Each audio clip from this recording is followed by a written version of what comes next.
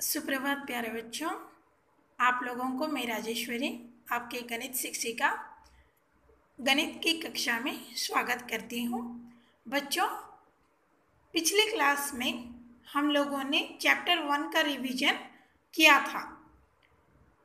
अब हम chapter two यानी कि काउंटिंग इन ग्रुप्स का रिवीजन शुरू करेंगे। चलिए बच्चों, अभी शुरू करते हैं। आप लोगों को मैं अच्छे से समझाई थी कि counting in groups means group में काउंट करना है और काउंट करके हमें वन टू थ्री ऐसे नहीं काउंट करना है। अभी हम थोड़ा बड़े होने लगे हैं तो अब की बार हम लोग ग्रुप में काउंट करेंगे और ग्रुप में काउंट करके टोटल काउंट जितना आ रहा है उसको अभी हम लोग टोटल करेंगे। ठीक है? देखिए बच्चों, ये एक गैरलैंड है। इसमें कितने बीड्स हैं? एक, दो, तीन, चार, पाँच। ठीक है? यह माला में कितने बीड्स हैं? पाँच बीड्स हैं। बिल्कुल उसी तरह कितने माला हैं? तीन माला हैं। तो हमें अभी टोटल बीड्स काउंट करने के लिए पाँच प्लस पाँच दस प्लस पाँच यानी कि पंद्रह। तो हम लोग पहले आप जब बच्चे थे क्लास वन में थे, कैसे काउंट किया करते थे? One two three four five six seven eight nine ten eleven twelve thirteen fourteen fifteen ऐसे किया करते थे। लेकिन अभी इसमें आ गए पाँच बिट्स इसमें भी पाँच बिट्स है और इसमें भी पाँच बिट्स है। तो कुल मिला के हम लोगों को कितना मिला? पंद्रह bits so total number of bits are fifteen बच्चों, अभी देखिए, एक ग्रुप में कितने ग्लास है? दो ग्लासेस है। वैसे, कितने ग्रुप्स हैं? तीन ग्रुप्स है। यानी कि कितने टोटल क्लासेस हो जाएँगी? टू फोर सिक्स ठीक है? तो इसको हम ग्रुप में काउंट करके डालेंगे। अभी देखिए, ये जो फूल का है बंच है, इसमें एक बंच में कितने फ्लावर्स हैं? चार फ्लावर्स है, ठीक है? चार फ्लावर्स वाले कितने बंचेस हैं? चार बंचेस हैं। तो आप लोगों को अभी ग्रुप में गिनती करना है। कैसे गिनती करोगे बच्चों?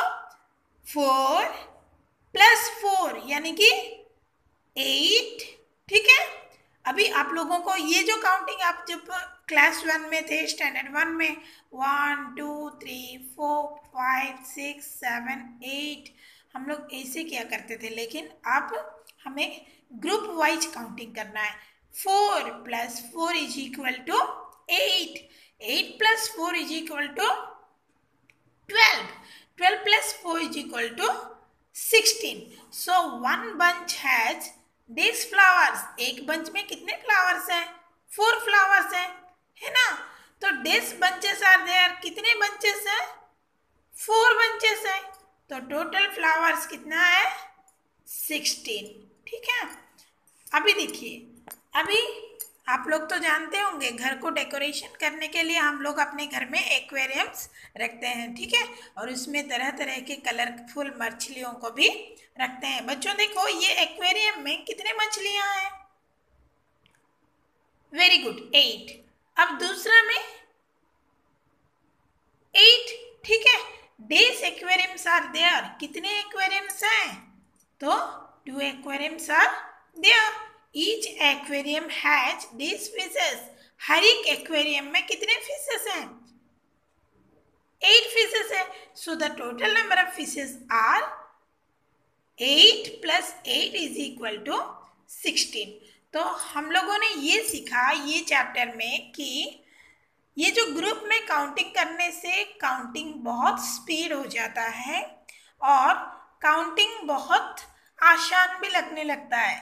तो अभी काउंटिंग इन ग्रुप्स को रिवाइज करते हुए आशा करती हूँ कि आप लोगों को ये चैप्टर दोबारा दोहरा कर फिर मैं आप लोगों के अंदर एक कंक्रीट आइडिया दी हूँ और सबको अच्छे से समझ में आया होगा। इसी के चलते मैं इसी के रिलेटेड कुछ होम असाइनमेंट्स भी आपको भेजूँगी।